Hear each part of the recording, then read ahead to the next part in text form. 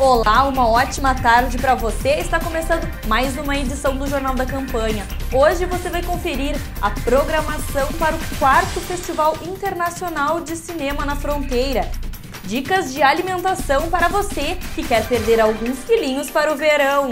E uma entrevista especial sobre a consciência negra. O Jornal da Campanha de hoje está só começando. Fique você ligadinho aqui conosco.